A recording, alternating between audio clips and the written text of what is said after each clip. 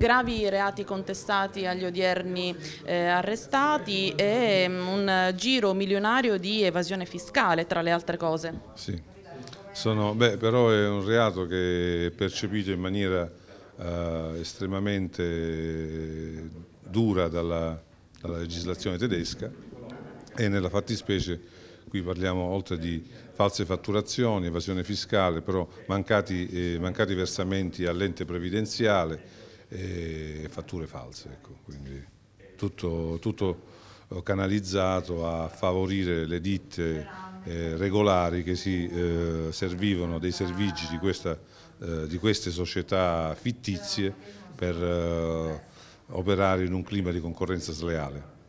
Eh, le indagini sono state condotte dalla polizia tedesca. Quali rapporti di collaborazione con la medesima e la tecnologia vi ha dato una mano? Le indagini le hanno svolte i tedeschi che eh, usufruiscono delle più moderne tecnologie sia per le indagini classiche sia per le indagini di tipo patrimoniale.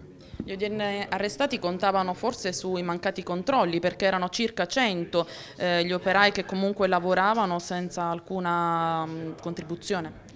Ma l'estremo, eh, diciamo, il breve lasso temporale in cui queste società eh, operavano, cioè dire era un lasso temporale di 6-9 mesi, gli consentiva di eh, prevedere che difficilmente avrebbero subito controlli. Loro eh, facevano affidamento su questo. Ecco.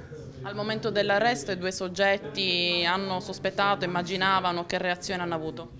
Ah, di sorpresa perché giustamente essendo in un altro pensavano magari ormai di essere al sicuro e al di fuori della portata della legislazione tedesca.